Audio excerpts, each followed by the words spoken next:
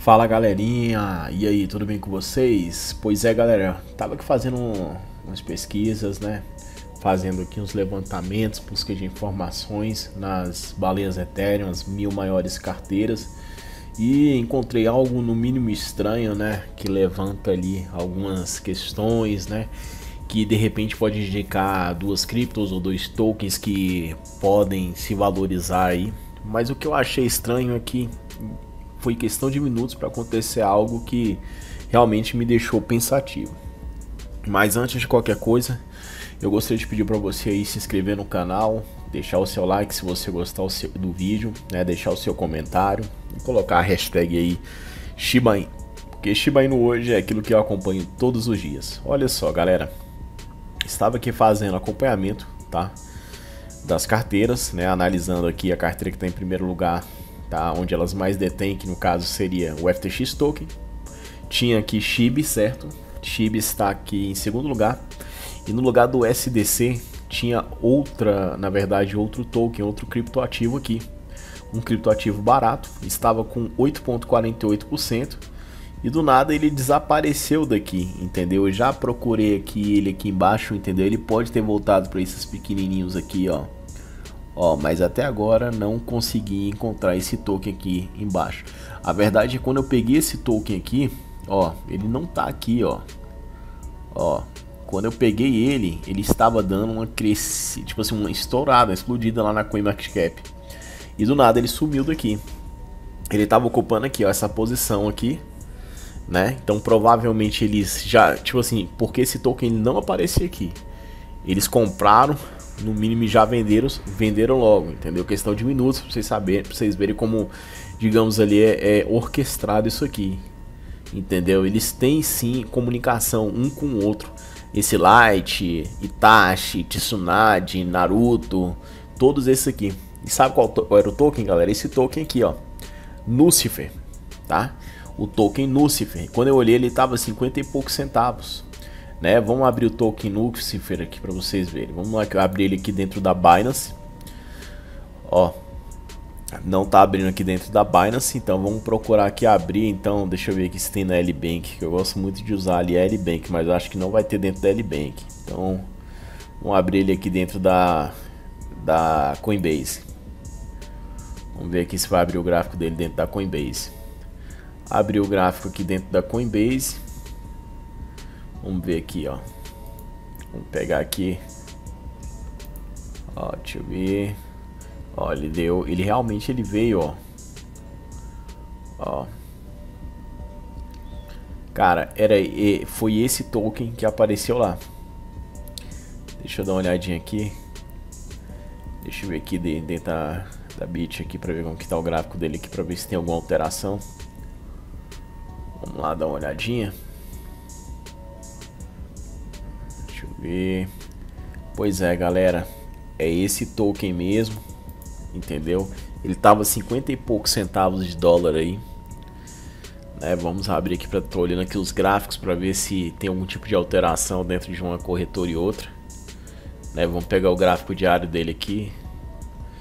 Não, ele veio aqui agora. Vou pegar aqui o gráfico de 4 horas, ó. Ele saiu aqui, ó. 39 para bater lá 67. Você pode ver aí, ó, nas últimas 24 horas ele dando 12,88% de valorização. Ó, o volume aumentando aí já 25%. E o que eu achei muito estranho foi que esse token estava aqui, ó, vou até dar uma atualizada novamente aqui para ver se aparece. Para ver se ele vai aparecer aqui de volta. Ele não aparece, você tá vendo? Aí o que que acontece? Nessa é, digamos nessa jogada toda, o SDT também estava aqui, ó, tá?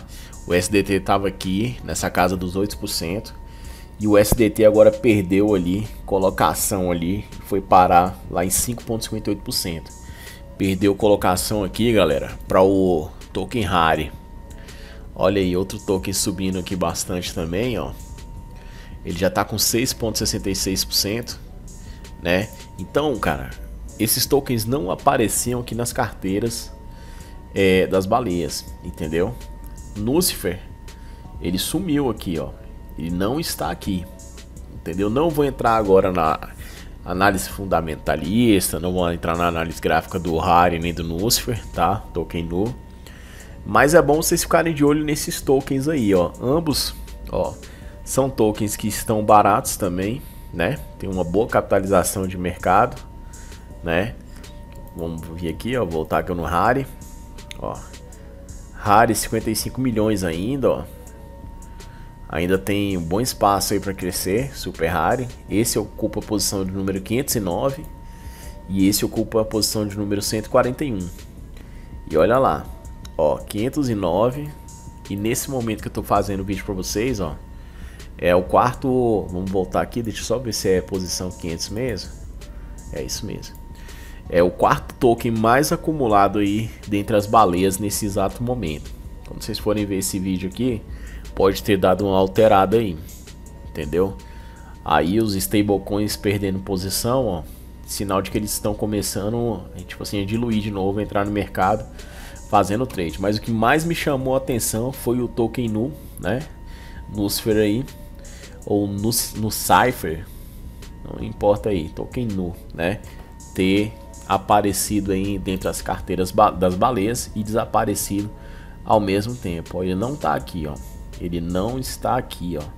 Você vem aí com Harry, né? Tem outros tokens aqui, só que não está, tipo assim, ele não está aparecendo aqui, era para estar aparecendo aqui. Mas deu uma explosão aí e os caras são ratos. E o que que eu cheguei a essa conclusão ali? Eu cheguei à conclusão de que essas baleias que todas se comunicam.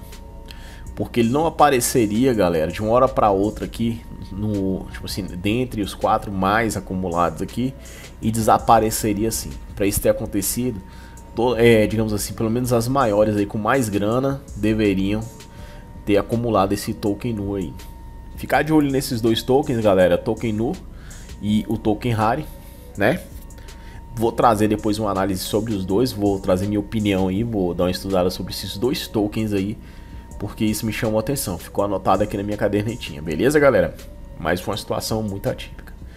Então, aquele negócio, porque eu sempre olho aí é, o que, que as baleias da Shiba Inu hoje estão acumulando. E é para me saber mais ou menos qual, mais ou menos aí qual a movimentação dela. Achei muito estranho isso aí, galera. Fica de olho aí. Se você tiver alguma, digamos, uma pista, né? Se você tiver algum comentário a respeito disso, coloque nos comentários aí. Bora tentar rastrear isso aí para saber o que está acontecendo, beleza? Deixa um forte abraço para vocês e até o próximo vídeo.